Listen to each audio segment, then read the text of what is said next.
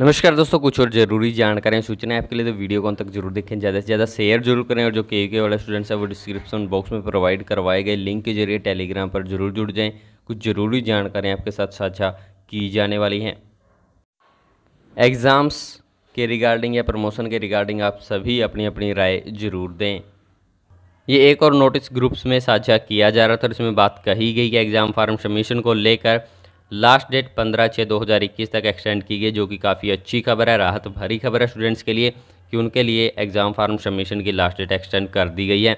और इसमें मेंशन किया गया है कि यूजी पीजी एनुअल कंपार्टमेंट या एडिशनल इंप्रूवमेंट वाले फार्म्स जिन्होंने भरने थे, वो स्टूडेंट्स पंद्रह छः दो हज़ार इक्कीस तक यूजुअल फ़ीस के साथ पाँच हज़ार रुपये लेट फ़ीस लगाकर पे करके अपने एग्ज़ाम फार्म भर सकते हैं सबमिट करवा सकते हैं। इसके अलावा U G P G even semester के स्टूडेंट्स यूजुअल फ़ीस के साथ तीन हज़ार रुपये लेट फ़ीस देकर पंद्रह छः दो हज़ार इक्कीस तक अपने एग्ज़ाम फार्म भर सकते हैं, सबमिट करवा सकते हैं। U G P G annual या इवन सेमेस्टर के स्पेशल मर्सी चांस केस के लिए जो स्टूडेंट्स हैं, वो स्पेशल मर्सी चांस की फ़ीस के साथ दो हज़ार रुपये लेट फ़ीस देकर पंद्रह छः दो हज़ार इक्कीस तक अपने फार्म सबमिट करवा सकते हैं और इस नोटिस की कॉपी इन सभी को भेजी गई है और उम्मीद है कि यह नोटिस जल्द ही साइट पर अवेलेबल भी हो जाएगा। तो इस संदर्भ में भी आपको सूचित कर दिया जाएगा। और जो स्टूडेंट्स रहते हैं जिन्होंने अभी तक अपने एग्ज़ाम फार्म नहीं भरे हैं, वो अपने एग्ज़ाम फार्म ज़रूर भर लें। अभी पंद्रह छः दो हज़ार इक्कीस तक लास्ट डेट एक्सटेंड की गई है। पहले प्राइवेट वाले स्टूडेंट्स के लिए पंद्रह छः दो हज़ार इक्कीस तक लास्ट डेट एक्सटेंड की गई थी, फिर उसके बाद रेगुलर वाले स्टूडेंट्स के लिए पोर्टल पर जानकारियाँ अपडेट की गई थी कि रेगुलर वाले स्टूडेंट्स पंद्रह छः दो हज़ार इक्कीस तक एक हज़ार रुपये की लेट फ़ीस के साथ अपने एग्ज़ाम फार्म भर सकते हैं। अभी इन सभी स्टूडेंट्स के लिए एक्स स्टूडेंट्स को शामिल करते हुए लास्ट डेट पंद्रह छः दो हज़ार इक्कीस तक एक्सटेंड कर दी गई तो जो स्टूडेंट्स रहते हैं, जिन्होंने एग्ज़ाम फार्म नहीं भरे हैं, वो अपने एग्ज़ाम फार्म ज़रूर भर लें।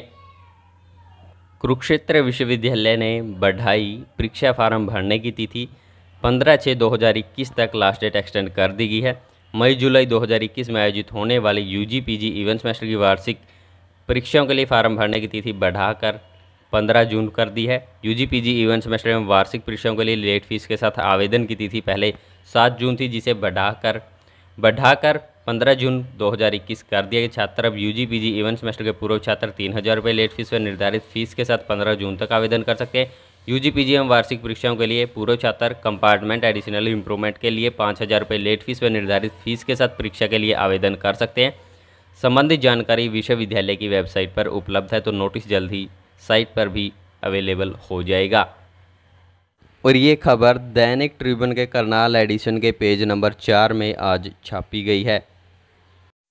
और आप सभी से आग्रह कि आप सभी अपने अपने राय ज़रूर दें कि ऑनलाइन क्लासेज में कितना समझ में आता है, कितना आपका सिलेबस कंप्लीट करवाया गया कितने सेशनल लिए गए कितने टेस्ट लिए गए कितने असाइनमेंट आपसे सबमिट करवाए गए तो इस संदर्भ में आप सभी अपनी राय ज़रूर दें और साथ ही साथ अपनी राय ज़रूर दें कि क्या स्टूडेंट्स को प्रमोट किया जाना चाहिए या ऑनलाइन एग्ज़ाम कंडक्ट करवाए जाने चाहिए तो आप सभी अपनी राय ज़रूर दें।